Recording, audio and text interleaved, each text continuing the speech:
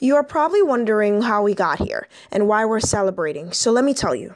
Every year, over 800 college students from across the nation come together for one week to attend the Model United Nations Conference in New York.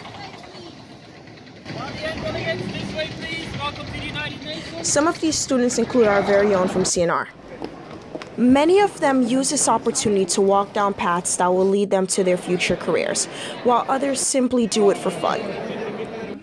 The week consists of many sleepless nights filled with delight, debate, deliberation, and most importantly, decisions that will not only lead up to the closing ceremony at the UN, but can possibly cause global peace and that merit us to celebrate.